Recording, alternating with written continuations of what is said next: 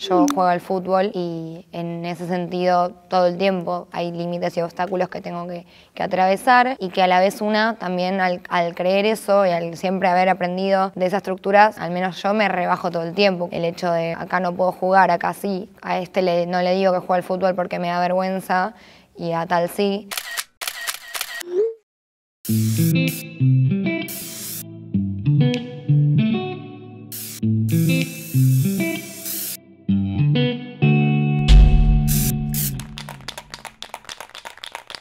Tengo dos hermanos varones más grandes. Y si yo jugaba a la pelota, me tenían que llamar con un nombre de varón porque no podía, ¿entendés?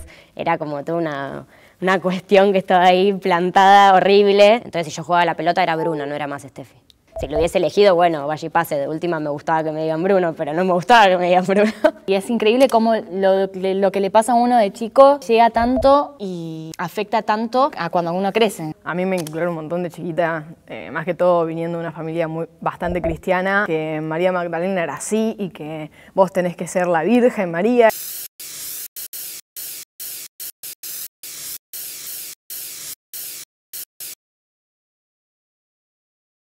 Cuando lo pienso conscientemente, sí me doy cuenta que los varones lloran, pero cuando veo un varón llorar me causa como cierta resistencia, como que me pone incómoda. Me di cuenta de que asumía cosas, que el hombre siempre, no sé, tenía que ser más grande que la mujer una relación, que tenía que ser más fuerte, más alto, o que el hombre tenía que darle la puerta a la mujer, invitar a comer, y me di cuenta que no. ¿Por qué? A mí también me gusta invitar a comer, me gusta hacer gestos lindos como abrir la puerta y me gusta sentir que yo también puedo ser la fuerte en una relación y no siempre la mujer es el papel débil en todos lados. Por ejemplo, cuando se trata de empezar a salir con alguien, que te guste alguien y demás, y es como que hay momentos donde digo tipo, no, pero me tiene que hablar el primero. Tengo como una idea del romanticismo que sí está basada un poco en el machismo, como que el varón viene a, proteger o a cuidar y muchas veces eso también pone, creo, al varón en una situación difícil de que nunca puede ser cuidado. Por ejemplo, estar de novio con alguien y que y dejarlo hacer algo que capaz vos no querés hacer, que te digan y que te diga tipo y que vos digas, bueno, ok,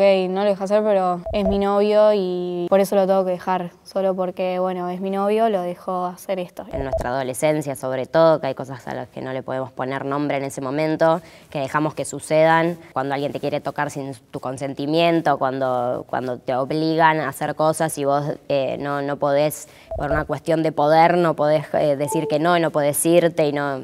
Me parece que todos descargamos con, con un montón de cosas, pero sí, yo Personalmente, principalmente aceptación masculina, inseguridades. O tenía que decir que sí porque si no era una tonta o porque, porque sí, porque había que hacerlo, porque era mi deber. Un tiempo después uno le, pone el nombre a todo eso y se da cuenta que por ahí no estaba tan bueno y que, y que la pasaste mal y que hay que denunciarlo en el momento que sea, sea lo que sea que haya pasado. Denunciarlo no, y no, no tiene que ver con una cuestión de justicia, sino denunciarlo vos en palabra, poder denunciar para vos lo que sucedió y sacarte del lugar de la víctima y de la, eh, y de la culpable al mismo tiempo. Y creo que todavía está, está vigente eso de que el hombre, te doy un ejemplo claro, es eh, que el hombre necesita el sexo en la relación. Entonces la mujer se lo tiene que dar. Entonces no tenés opción. ¿Y por qué no puede ser la mujer que también lo quiera y el hombre que capaz dice, no, bueno, yo capaz no? Vos sos dueña de vos y es así, corta. Me importan ciertas cosas de la estética femenina que debería ir como deconstruyendo a poco, pero que todavía las tengo reinternalizadas, que no sé, me parece que eso es un problema que arrastro también de ahí, de como tener muy esa, es, esa visión de belleza, ese objetivo de belleza que como que todavía falta. La cosificación de la mujer y todo eso está pero muy arraigada en el tema del cuerpo.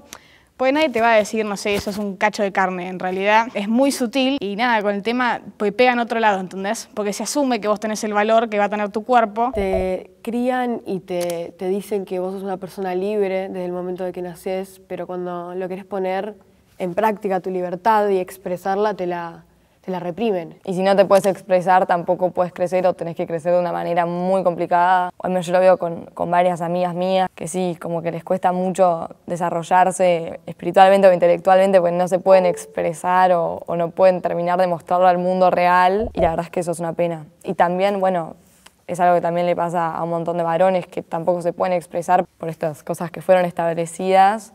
Entonces es algo que al final del día no beneficia a nadie. Me acuerdo de pensar como ¿por qué estoy pensando que voy a trabajar si total me voy a casar y mi marido va a trabajar? Si tengo un pensamiento que por ahí es más patriarcal, ponele, enseguida como que digo, no, para, esto no está bien lo que estoy pensando y es como, es parte de este aprendizaje que se va haciendo. Qué locura, ¿no? Como que ahora estoy terminando el colegio con ganas de ir a trabajar y como que ni loca pienso en que me van a mantener, ni, ni loca. Yo creo que una nunca termina de, de estar como superada en todos los espacios de su vida.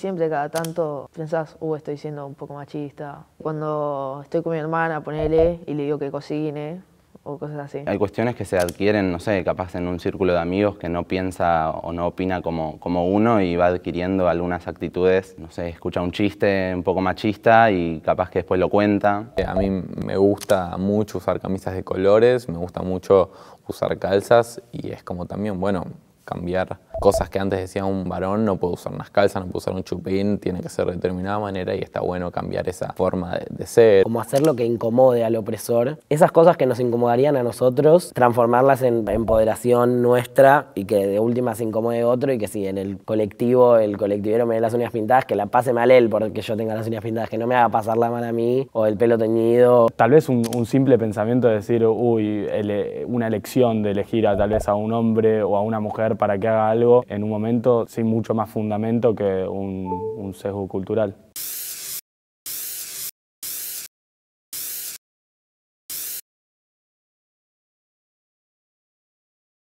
Cuando fue al colegio en pantalones por primera vez, o sea, recibí un montón de comentarios negativos y, y fue re difícil. El pantalón, algo que el pantalón se usa hace un montón de tiempo en una mujer y recién este año las mujeres pueden ir con pantalón al colegio. Fue muy complicado también toda la lucha para que acepten eh, los pantalones. Pero bueno, después de uno o dos días de ir, semanas, una o dos semanas, y ahí las, chicas se lo empezaron a poner los pantalones y, y es como que la cosa empezó a cambiar. Bueno, decir, bueno, me paro y lo digo, voy y me pongo los pantalones. Como eso es lo que yo creo que tiene que suceder. Yo tengo varios amigos que hoy por suerte ya sí me saludan, pero por los primeros, por el primer mes como que, no sé, no te saludan. Me decían, no, yo solo te voy a saludar cuando te das pollera, o sea, no te saludo cuando te das pantalón. Me acuerdo volver a mi casa y sentir como mucho odio, pero no de mi parte, sino como de los demás. No sé, como gente diciéndome tipo, ah, ok, ya no sos más mujer. Pero creo que, que el, el cambio de verdad se generó cuando el segundo día fui y me los volví a poner. Porque el primer día es como, ok, una prueba, pero lo de verdad sucede cuando después te los volvés a poner y, y seguís. Si cambiamos la mirada, haremos que el mundo cambie.